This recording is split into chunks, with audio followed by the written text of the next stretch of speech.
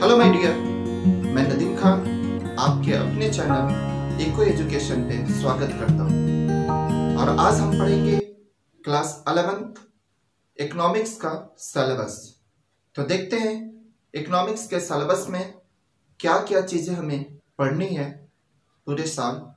एक बार सिलेबस को ओवरव्यू कर लेते हैं, इससे हमें एग्ज़ाम का आइडिया मिल जाएगा और जो क्वेश्चन पेपर होंगे उसमें क्वेश्चन पेपर के अकॉर्डिंग हमें पढ़ने में बहुत हेल्प मिलेगी। तो चूँकि बहुत कंफ्यूजन होता है, आप पढ़ते रहते इधर उधर की चीज़ें, आपको कुछ सेलेक्टेड सेलेक्टेड चीज़ें हैं, उनको ही मेन फोकस करना चाहिए एग्ज़ाम पॉइंट ऑफ़ व्यू से।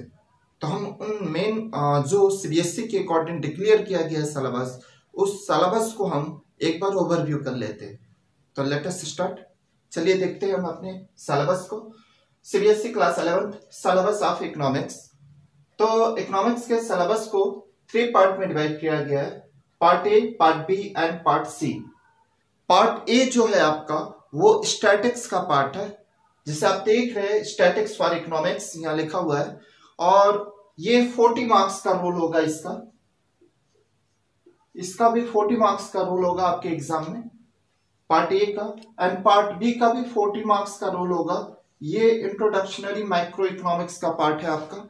इसमें पूरा माइक्रो इकोनॉमिक्स की इकोनॉमिक्स पढ़ना होगा आपको। और पार्ट सी जो है वो आपका प्रोजेक्ट वर्क है। ये ट्वेंटी मार्क्स का रोल होगा इसका।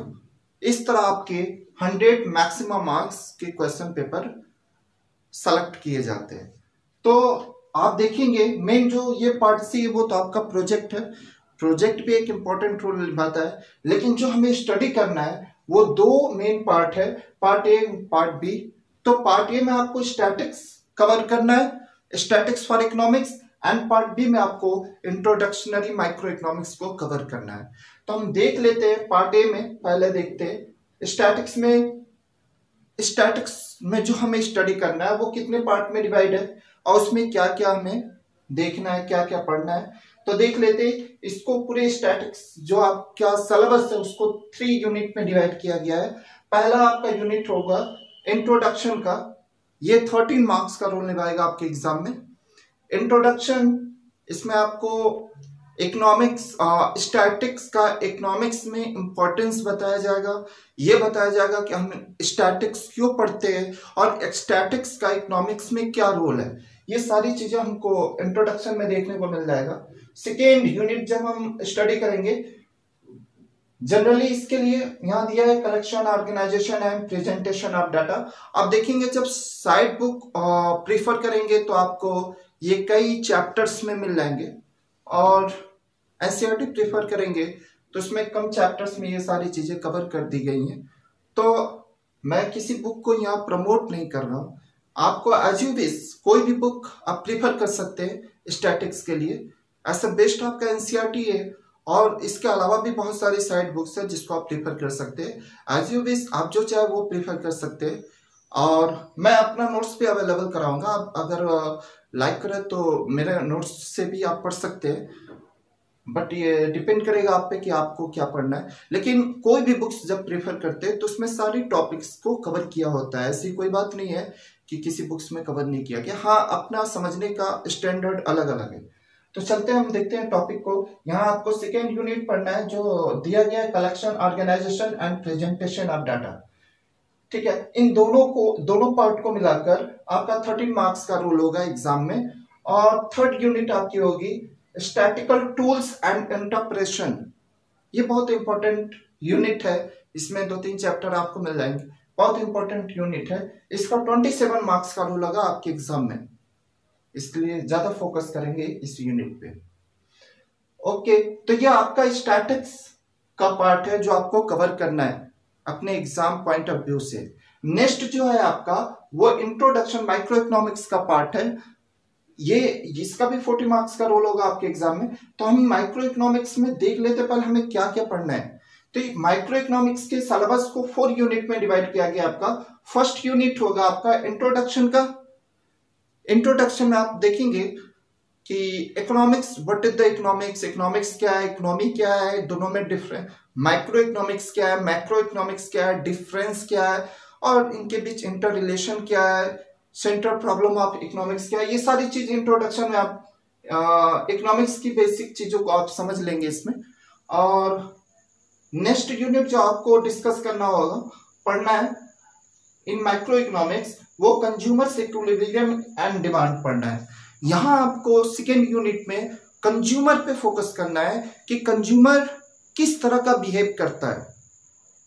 कैसे बिहेव करता है और किस तरह वो डिमांड को इफ़ेक्ट करता है। किसी भी कंज्यूमर की बिहेवियर उसके डिमांड को कैसे इफ़ेक्ट करते ये तमाम टॉपिक्स को हम कवर करेंगे अपने माइक्रो इकोनॉमिक्स के सेकेंड यूनिट में। और इसका थर्टीन मार्क्स का रोल होगा आपके एग्ज़ाम में, बहुत इंपॉर्टेंट पॉइंट है। थर्ड एंड फोर्थ ये सेम अपोजिट वर्क करेंगे क्योंकि यहाँ कंज्यूमर का रोल हम देखेंगे। माइक्रो इकोनॉमिक्स पढ़ रहे हैं तो यहाँ पे एक यूनिट का हम स्टडी करते हैं। तो यहाँ पहले हम कंज्यूमर के बारे में स्टडी करेंगे कंज्यूमर के बिहेवियर स्टडी करेंगे उसका डिमांड स्टडी करेंगे और यहाँ पे थर्ड यूनिट में आप प्रोड्यूसर के बिहेवियर को स्टडी करेंगे। सेम लॉजिक होगा बट डिफरेंट होगा थोड़ा। यहाँ प्रोड्यूसर का बिहेवियर कैसे है? जो वो प्रोड्यूस कर रहा है उसका आ, अगर डिमांड ज़्यादा है तो सप्लाई ज़्यादा करेगा। वो तमाम चीज़ें हम टॉपिक में देखेंगे बट लॉजिक सेम होगी। तो यहाँ प्रोड्यूसर बिहेवियर एंड सप्लाई को हम देखेंगे अपने थर्ड यूनिट में। बट ये बहुत अच्छी बात है कि दोनों को, दोनों का थर्टीन थर्टीन मार्क्स का रोल होगा आपके एग्ज़ाम में। और फोर्थ यूनिट आपका जो होगा माइक्रो इकोनॉमिक्स में, वो हम देखेंगे देखेंगे forms of market and price determination market के कितने फॉर्म्स होते हैं वो पढ़ेंगे और प्राइस कैसे डिटरमाइन होता है डिटरमाइन होता है, उसको भी हम स्टडी करेंगे। तो इस तरह से फोर यूनिट में आपका सिलेबस कवर किया गया है माइक्रो इकोनॉमिक्स का, और आपका थर्ड पार्ट होगा जो, वो प्रोजेक्ट वर्क तो एज यू सीन दैट आप देख रहे हैं कि 40 मार्क्स 40 एंड ट्वेंटी मार्क्स इस तरह आपका 100 मार्क्स का क्वेश्चन पेपर क्लियर किया जाएगा। लेकिन क्वेश्चन पेपर का जो मॉडल होगा जो क्वेश्चन पेपर सेट किए जाएँगे, वो चेंज हो चुके हैं, उनके फॉर्म्स चेंज हो गए हैं तो वो थोड़ा फॉर्म्स पे भी डिस्कस कर लेते हैं तो किस तरह के क्वेश्चन पुटअप होते हैं आपके एग्ज़ाम में, और किस तरह के क्वेश्चन का ज़्यादा इंपॉर्टेंस होता है तो आपके जो न्यू क्वेश्चन फॉर्म्स बन रहे हैं क्वेश्चन पेपर बन रहे हैं आपके, चाहे हाफ़ ईयरली को चाहे एनुअल के हो, वो इस फॉर्म पे बेस्ड हैं। आपके जो क्वेश्चन पेपर डिज़ाइन की जाती है, वहाँ पे एमसीक्यू का रोल होगा आपका ट्वेंटी ट्वेंटी एमसीक्यू आपसे क्वेश्चन में पूछे जाएँगे। ट्वेंटी एमसीक्यू यहाँ पे होंगे और ट्वेंटी मार्क्स इसका रोल हो जाएगा। Twenty MCQ short answer first category के आपके।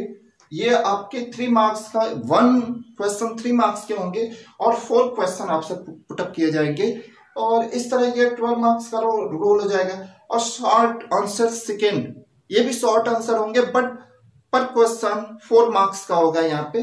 तो इस तरह से ये सिक्स क्वेश्चन होंगे, इस तरह के क्वेश्चन आपको जो पुटअप किए जाएँगे वो सिक्स क्वेश्चन होंगे और ट्वेंटी फोर मार्क्स का इसका रोल होगा और लॉन्ग आंसर होंगे आपके, वो सिक्स मार्क्स के होंगे और ये सिर्फ़ फोर क्वेश्चन आपसे पुटअप किए जाएँगे। तो इस तरह ओवरऑल देखेंगे तो जो डिज़ाइन किया गया आपके क्वेश्चन पेपर का, वो 80 मार्क्स का होगा, इस तरह डिज़ाइन किया जाएगा, और उसके बाद आपका प्रोजेक्ट वर्क मिल जाएगा 20 मार्क्स का, इस तरह मिलकर 100 मार्क्स का आपका क्वेश्चन पेपर डिज़ाइन किया जाएगा। तो ये हमने देखा अपना इकोनॉमिक्स का क्लास अलेवेंथ इकोनॉमिक्स का सिलेबस को डिस्कस किया है। अब हम अपने पहले चैप्टर्स को मतलब किसी एक पार्ट को, आप जो एज यू विश जो लाइक करते हैं जो पहले पढ़ना चाहते हैं वो हमें कमेंट में बता दीजिए हम पहले उसी को स्टार्ट करते हैं। ठीक है? और किसी एक पार्ट को उठाएँगे और फिर उसके बाद स्टेप बाय स्टेप स्टडी करते आगे चलेंगे। आप ऐसे ही बने रहिए।